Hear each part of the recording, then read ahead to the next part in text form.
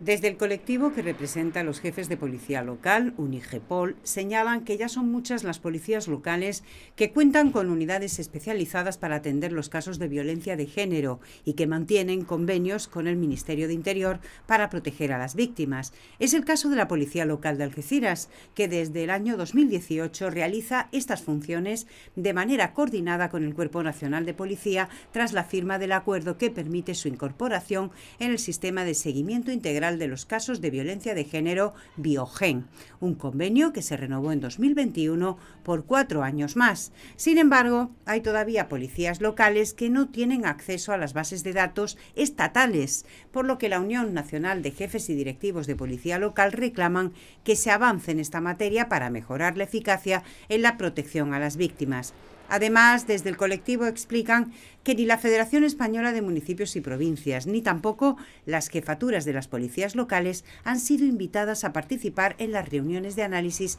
que se han producido la semana pasada entre las fuerzas y cuerpos de seguridad del Estado. En consecuencia, los representantes de Unigepol entienden que se ha obviado a uno de los cuerpos más comprometidos con la protección de mujeres y más próximo a las comunidades locales. El único, además, que trabaja codo a codo con los profesionales de otros departamentos municipales que atienden a las víctimas. Añaden que los protocolos que han redactado las direcciones de la Policía Nacional y la Guardia Civil impiden a las policías locales la recepción de las denuncias y la valoración del riesgo y además impide o limita el acceso a otras bases de datos con información relevante como las de antecedentes o incluso las del Ministerio de Justicia. Por todo ello, Unigepol ha solicitado al Ministerio del Interior una reunión para pedir la mejora de los procedimientos actualmente establecidos.